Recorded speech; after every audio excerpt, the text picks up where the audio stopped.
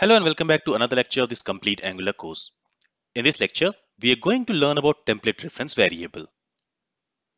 A template reference variable is a variable which stores a reference to a DOM element, a component, or a directive on which we have used it. Let's try to understand template reference variable with an example. So currently in our application, we have implemented this search functionality in such a way that when the user starts typing something inside this search text box, at that time only, it will start searching for the product with the value which we have typed inside the search text box. So currently we have typed Nike. So here it has searched for all those products whose name contains Nike in it. Okay, but what we want is instead of start searching as soon as the user starts typing inside this search text box, we want to search for the products when this search button is clicked. Now currently what is happening is whenever we type something inside the search text box, for each character we enter inside this search text box, this value will be assigned to this search text property of this search component. So in the search component.html, you see here we are doing two-way data binding. So whenever the user types something inside this search text box, inside this input element, that value will be assigned to this search text property. And then we are passing the value stored inside this search text property to the product list component. So in the product list component, if we go to product list component.html, there we are using the search text property to filter the products based on that search text. Right. But now, instead of start searching as soon as the user starts typing something inside the search text box, now what we want is whenever this button is clicked, after that only the search should happen. For that, the first thing which we are going to do is we are going to remove this two-way data binding from this input element. Now here we are also binding this input event. So whenever this input event happens, we are calling this on search text change method. And inside this on search text change method, we are raising this event, this custom event which we have created. But for now, I will also remove that. So I'm going to remove this event binding as well. So now if we go to the web page and if we type something inside this text box, you see now the search is not happening. We are also not seeing that paragraph which says you searched for and then the value which we have typed inside this search text box. That's because that paragraph will be only displayed when this search text has some property. But since we have removed the two-way data binding from this input element, even though we have typed something inside this search text box, that value has not been assigned to this search text property here. Okay, so this search text property, it is still empty string. It has not been assigned with the value which we have typed here. Now we want to assign this value to this search text property here when this button is clicked. For that, let's first go ahead and let's enable this button even when the search text is empty. For that, let's go back to VS Code. Let's go to our search component.html. Let me close this product list component.html here. And from this button element, let's remove this ng class directive. We don't need it here. And let's also remove this disabled attribute from here. And there, let's add class attribute. And here, we want to add some CSS class for this button element. So basically, I want to add btn CSS class and btn search CSS class. If I go to the web page now, now that button should be enabled. All right, now what we want is when this button is clicked, we want to assign the value which the user has typed inside this search text box to the search text property. For that, on this button element, let's go ahead and let's bind click event.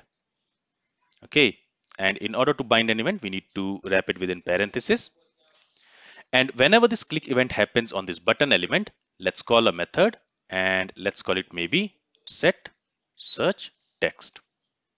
Let's go ahead and let's create this method in our search component class. So I'll create it here.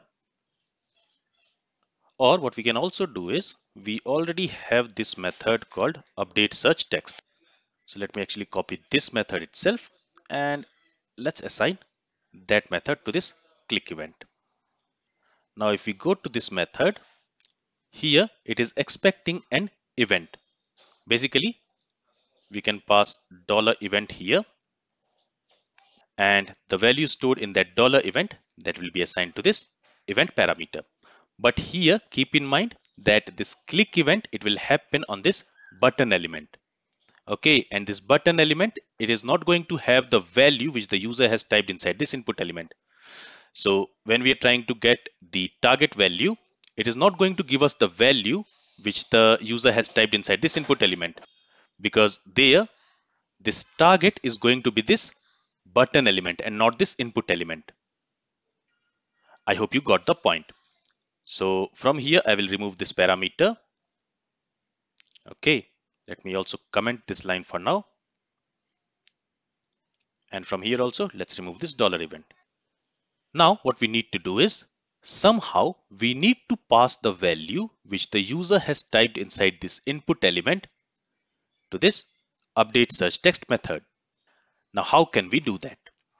For that, we can use template reference variable.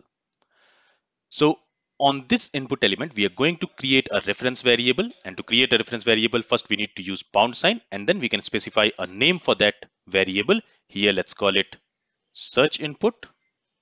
And all this variable is going to store is it is going to store a reference to this input element. And that's what we learned, right?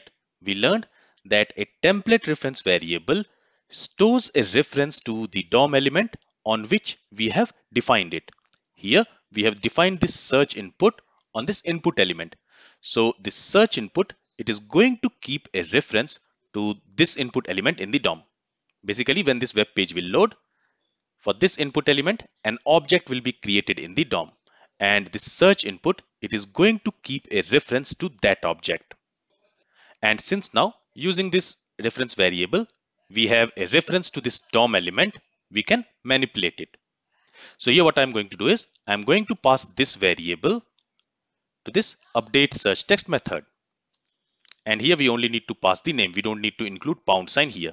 We include pound sign only while declaring that variable. Here we are declaring that variable. When we want to use that variable, we don't need to include this pound sign. Now let's go to this update search text method. And there let's specify a parameter. Let's call it input EL and here we can specify the type of this input EL as HTML input element.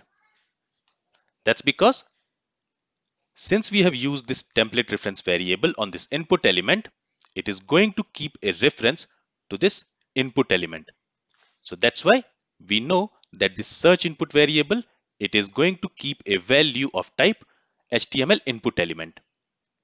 That's why we are explicitly specifying the type as HTML input element.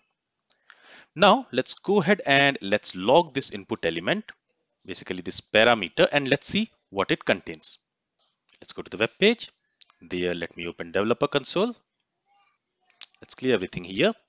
And let me type something here, maybe Nike. And let me click on this search button.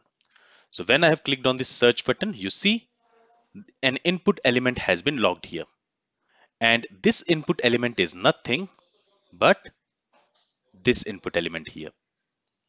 Okay, so in this way, using this template reference variable, we have access to this input element in the DOM.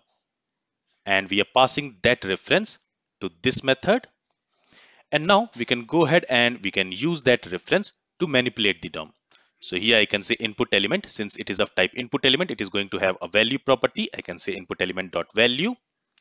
Let's go back to the web page and now whenever I type something inside the search text box, let's say Nike, let me clear the console here. And when I click on the search button, that value has been logged here. If I type Adidas, that value has been logged here. So in this way, on the button click, now we have access to the value which the user has typed inside this search text box. So now all we need to do is we need to go ahead and we need to assign that value to this search text property.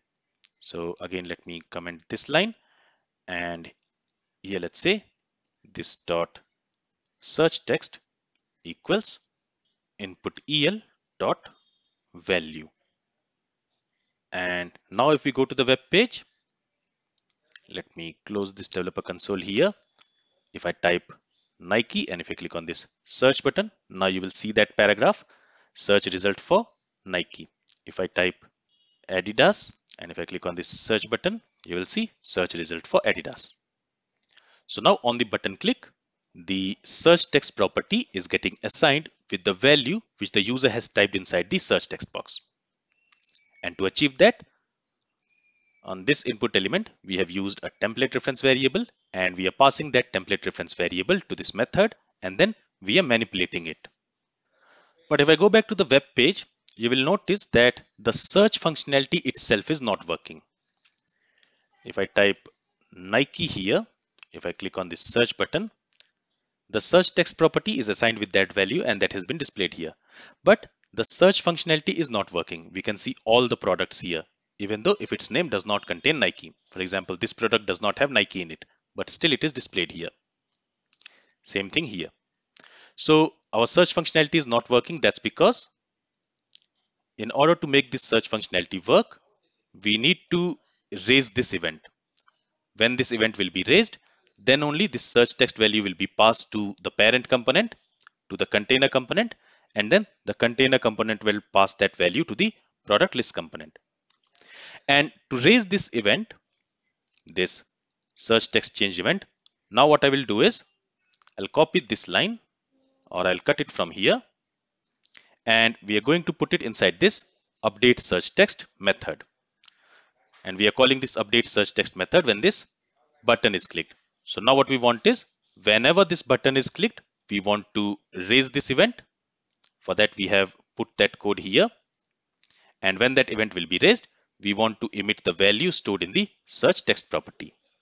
Now keep in mind that I am putting this line after we have set this search text property. If I put it before this line, in that case, when this event will be raised, by that time this search text will be empty string.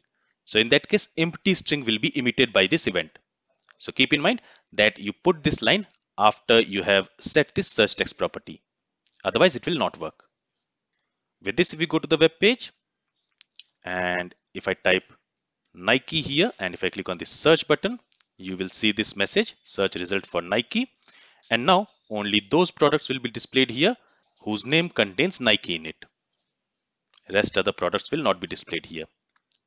If I say Fester and if I click on the search button, only that product whose name has this Fester that will be displayed here.